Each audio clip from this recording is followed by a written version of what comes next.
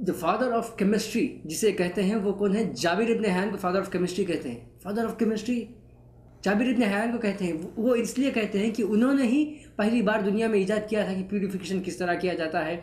Filtration किस तरह किया जाता है, डिस्टिलेशन किस तरह किया जाता है, ऑक्सीडाइजेशन क्या है, इवापोरेशन क्या है, ये सारे चीज़ें, क्रिस्टलाइजेशन क्या है, ये सारे चीज़ों को इस दुनिया को देने वाले कौन थे? जाबिर इब्न हैन ही थे। इब्न सीना ने स्टीम डिस्टिलेशन से पहली बार एसेंशियल ऑयल्स बनाए थे, यानी झाड़ों से जो तेल निकाल कर, उसको इस्तेमाल करने का जो पहली बार स्टीम के ज़रिए, यानी भाप के ज़रिए जो तेल निकालते हैं, गर्मी और भाप के ज़रिए जो तेल निकालते हैं, पहली बार उसे इब्न सीना ने इस दुनिया को बताया कि किस तरह करना है।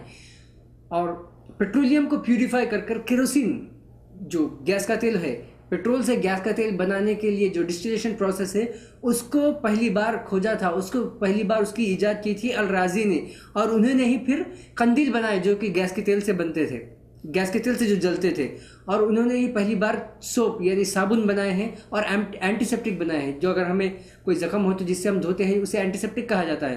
पहली बार एंटीसेप्टिक बनाने वाले ही, वाले भी अलराजी ही थे।